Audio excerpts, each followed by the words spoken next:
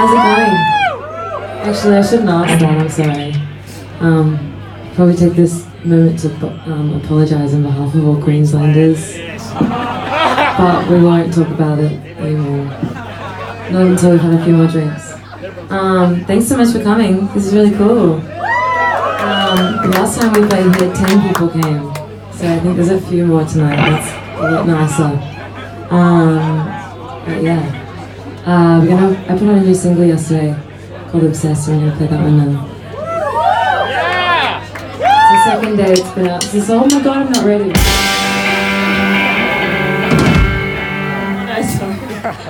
I could have made it just in time. Alright, this song's called Obsessed. Here we go.